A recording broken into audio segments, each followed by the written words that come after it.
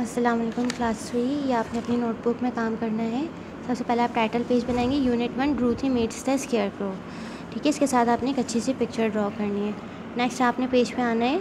आपने हेडिंग बनानी है वोकेबलरी आपने डेट मेंशन करनी है क्लास वर्क ठीक है, और डे लिखना है आपने। वोकेबलरी में number one the great Oz two scarecrow three Dorothy four creature five wink six stressed seven yawned eight Emerald City nine stuff ten suspected next आपने क्वेश्चन लिखना है आंसर दी फॉलोइंग क्वेश्चन या आपने blue colour से लिखना है, फिर question आपने लिखना है what is the road made of road किससे बनी हुई थी? The road is made of yellow bricks road जो है वो येलो ब्रिक्स की बनी हुई थी. Question number two what is Dorothy's pet called and what type of creature is he Dorothy's pet क्या कहलाता था? Dorothy's pet is called Toto और किस तरह का क्रिएचर था? He is a dog why the scarecrow crow is in the field scarecrow field में क्या, क्यों होता है? आपने बताना। The scarecrow is in the field to scare the birds and stop them from eating the ripe corn scarecrow field में जो है वो बर्ड्स को डराने के लिए होता है ताकि जो राइप कॉर्न या जितनी भी फ़सलें हैं वहाँ पे वो उन बर्ड्स जो हैं वो उनको खाए ना,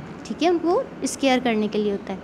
Why does Dorothy do to help the scarecrow Dorothy ने स्केयर क्रो की कैसे हेल्प की? Dorothy Dorothy lifted the scarecrow off the pole and set him down on the ground scarecrow जो है वो पोल के साथ बंधा हुआ था तो ड्रूथी ने उसको पोल से हटा के ज़मीन पे लेकर आई थी, ठीक है? ग्राउंड पे लेकर आई थी तो उसने उसकी इस तरह हेल्प की।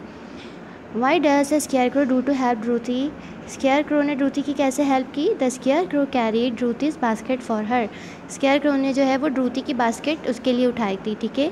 What did the scarecrow want to ask the great Oz for scarecrow great Oz से क्या लेना चाहता था? The scarecrow wanted to ask the great Oz for a brain वो उससे ब्रेन लेना चाहता था, ठीक है? क्योंकि उसके पास कोई ब्रेन नहीं था, वो स्ट्रॉ का बना हुआ था।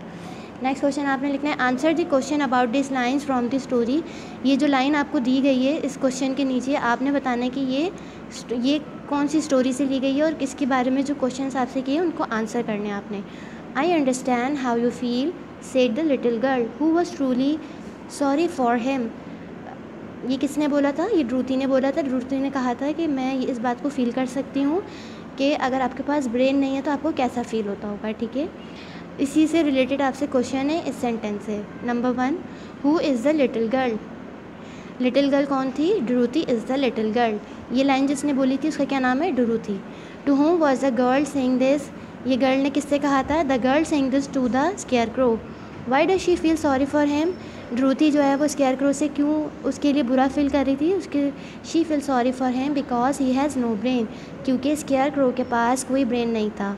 वट हैपन नेक्स्ट फिर दोनों ने क्या किया? स्केयर क्रो और ड्रूथी ने they start walking again to the Emerald City उन्होंने जो है मैरल सिटी की तरफ़ जाना शुरू कर दिया, क्योंकि ड्रूथी को जो है वो अपने कैंसास का एड्रेस लेना था, उसको अपने सिटी जाना था और स्केयर क्रो को जो है वो ब्रेन चाहिए था, इसलिए उन्होंने मैरल सिटी जाना शुरू कर दिया। अगर आपको इससे रिलेटेड कोई भी क्वेश्चन हो तो आप मुझे व्हाट्सएप करके पूछ लीजिएगा। Thank you